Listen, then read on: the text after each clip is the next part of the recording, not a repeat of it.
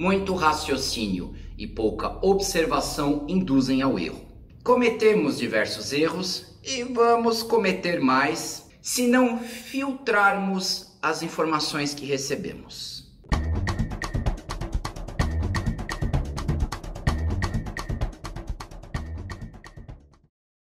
Sou Marco Jimenez aqui do Núcleo Dharma de Ribeirão Preto e vamos esquecer o politicamente correto e o blá blá blá com vaselina. Temos uma situação mundial de atenção, sim, mas desde você, molecote aí do Twitter, o tiozão ali do Zap, a imprensazinha que a gente já não confia a tempo e alguns youtubers que deveriam ir plantar batata, vocês sim precisam rever seus valores e nós os valores que damos a vocês. Essa é a nossa parte. Alguns tons e pequenas palavras podem transformar um alerta em pânico. Podem transformar uma possibilidade minúscula numa certeza quase absoluta. E o motivo de alguns fazerem isso, a gente sabe por quê, né, gente? Você confia totalmente na imprensa formal? Desde dezembro a gente está ouvindo sobre essa doença que está se espalhando pelo mundo. E somente três dias atrás do momento dessa gravação é que a explicação de que a lotação das UTIs e a sobrecarga no sistema de saúde num pequeno período apareceu. Antes ninguém falava disso. E na verdade essa é a principal informação.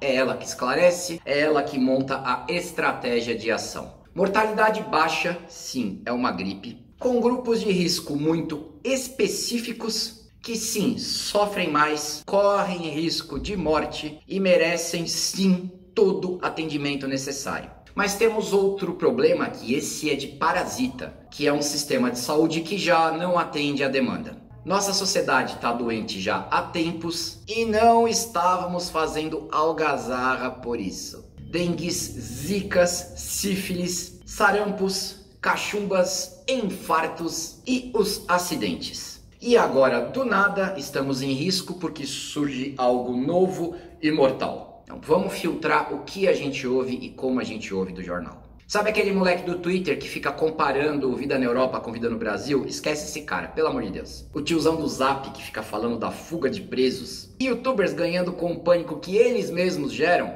idiotas, comece uma quarentena contra eles. Não estamos vivendo um filme de Will Smith, não é Walking Dead.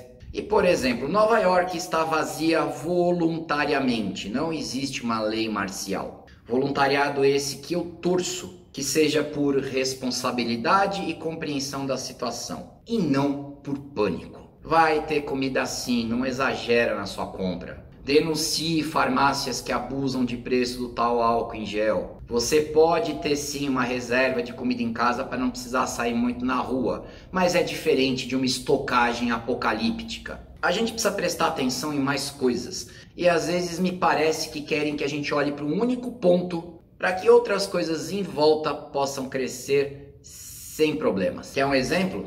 Estão reclamando do presidente apertando a mão do povo mas a prisão em segunda instância acabou de travar de novo. Vocês sabiam que as pessoas que passaram no concurso da Polícia Civil em São Paulo não estão comparecendo? Passaram em 2017 e agora ninguém quer assumir. Por quê? Porque o salário está baixo e o risco está alto. Alguém está comentando isso? Isso não gera uma mortalidade maior que afeta, além de asmáticos e velhinhos, toda a população? Ontem o Major Olímpio e o Dória saíram na mão numa sede da polícia em São Paulo. Isso não é um sintoma muito mais preocupante? Nunca na sua vida ocorre uma coisa por vez. Se um único problema toma toda sua atenção, as demais encrencas vão crescer. Sobreviver não é fácil e viver é mais difícil ainda. Nesse período nós vamos sair menos de casa? Vamos sim, mas não precisa se esconder num bunker. Por favor. Mantenha seus contatos, brinque, faça memes. Apesar de ter gente aí condenando, faça memes, divirta-se. Mantenha sua atenção, mas mantenha seu humor. Permaneça humano. Aproveite o tempo em família. Não é lepra, não é hidrofobia, não é ebola. É uma gripe mortal para alguns grupos e que se espalha mais rápido do que a forma convencional. É esse o problema. Se tiver atendimento, vai ficar tudo bem. E não é todo mundo que vai cair de cama no hospital. O problema maior é a estrutura da sociedade e não a doença em si. E os alarmistas acabam afetando a estrutura da sociedade ao invés de combater o vírus. Vamos ficar atento às ruas aí com esse problema de fuga. Aqui São Paulo fugiu um de preso. O último número que eu vi, não sei se é alarmista, 1.500. Vamos ficar esperto? Vamos, eu tô sempre esperto. Mas no espírito de revide, não de medo.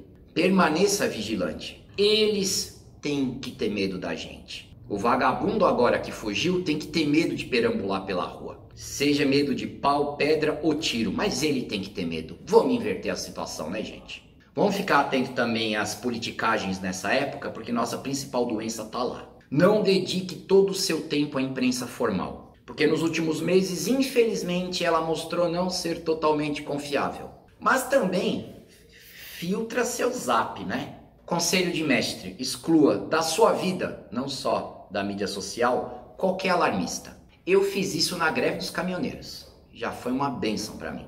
Esse aqui pode ser um momento bacana sim para reflexão, o quão é insalubre a nossa vida, a nossa cidade, o nosso trabalho e algumas de nossas relações. Agora é hora de fechar a guarda e absorver algumas pancadas que vão vir. Mas em algumas semanas vai ser a hora de você dar uma olhadinha e dar aquele cruzadão de revide, com força, para nocautear, para você não precisar novamente ficar protegendo a cabeça. Fica atento, muita coisa ocorre ao mesmo tempo, é a vida. Sempre foi assim, sempre vai ser. Não foque a atenção num ponto só. Alice a quem constrói, alice a quem é equilibrado. Debata, mas sem pânico. E não sinta medo. Sinta o desejo de revidar. Assim que uma brecha abrir. Porque é só assim que você não vai passar por isso de novo. Cuidado com a imprensa, cuidado com influencers nós não podemos ditar o rumo da sua vida. Ela é problema e mérito seu. Vamos permanecer unido com quem vale a pena e resolvendo os problemas, não jogando purpurina ou holofotes demais sobre eles. Eu tô achando um excelente momento para carimbar na minha vida o imbecil, o idiota, o cara que eu quero longe. Pensa nisso.